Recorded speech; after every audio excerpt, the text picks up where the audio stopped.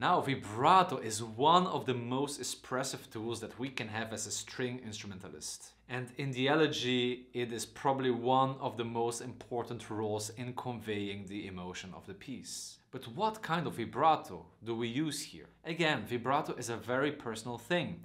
You can play this very with, you can narrow it down, it depends how you feel the music. So for instance, as in the beginning of the course I saw this opening as a lament, I would rather uh, want uh, a with slow vibrato. In order to feel that cry because this is a cry you just lost someone dear. So you want something like this um,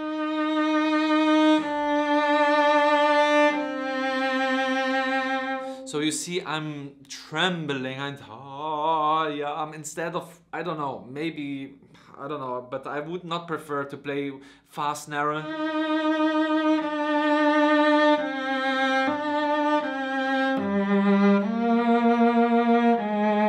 I don't do it well, maybe. You know, other chats, they play it like this and they play it amazingly.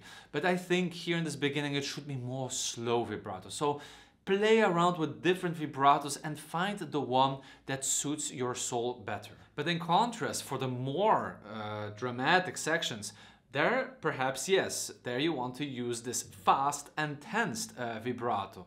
Like uh, we have...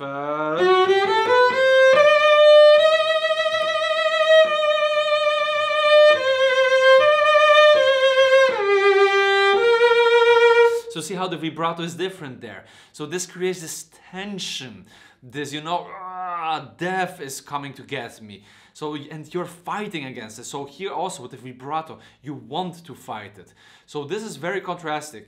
So in the beginning, this slow, grieving, sorrowful vibrato, and then in the tense moment, they're full of electricity. A good exercise, you know, to develop the different vibratos is you can just play again on slow notes. You start with a slow vibrato and then bit by bit you fasten it up as you would go into the dramatic conclusions. So let's take again the first note. We'll start slowly.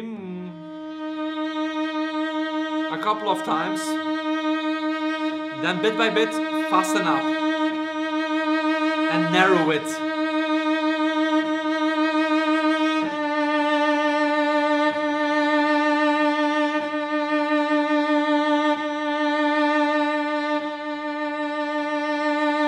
So you can play along with this exercise. It's very important that you try this on one note, on different fingers, so that you're used to it. This is very important. So listen to the difference and the emotional quality between the two types of vibrato. Both vibratos have their place in the elegy, and it's up to you to decide where to place each. But if I can give you a pro tip, don't rely only on the vibrato.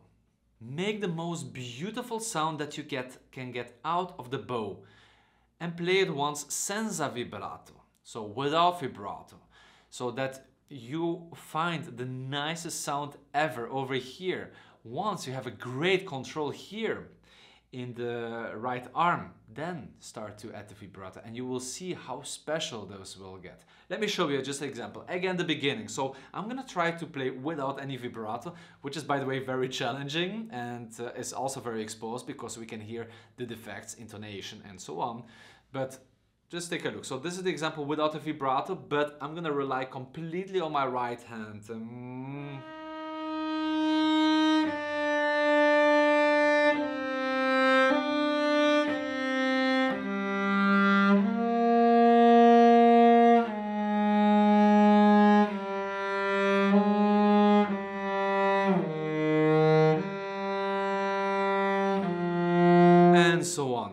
Of course, something is missing. That cherry on top of the cake, which is the vibrato. But I could produce a beautiful sound only with the right hand, without vibrato. But now, if we add the vibrato together, then it becomes special. So, um...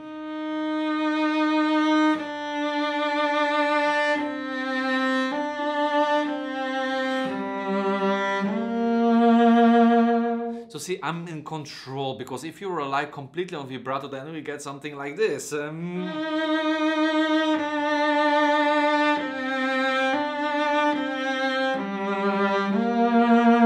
Like, yes, lots of motion, lots of movement, but something is missing. this over here is missing. Again, think like a singer.